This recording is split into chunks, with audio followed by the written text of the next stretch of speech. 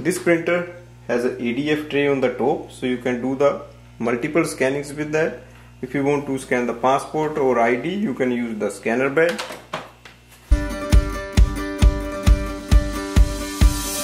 So I'm going to use the ADF tray. In the ADF tray when you place the pages you can see here I have three pages. So place it like this. So the back side should be facing up first page should be here. Second third like this. And now place it here. Click on the scan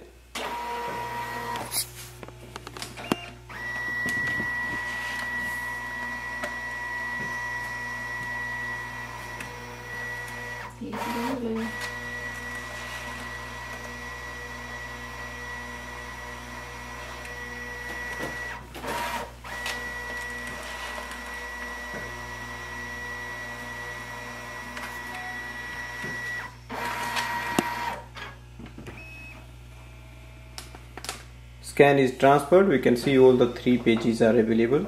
If you want you can save to the PC or you can send it to the cloud services. You can attach with the email all the options are available.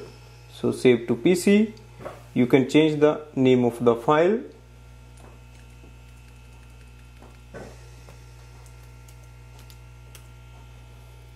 Select if you want to use it as a PDF, JPEG or any other format select the destination folder and click save. On this page you can just open your PDF or file that is here. So all the three pages are available.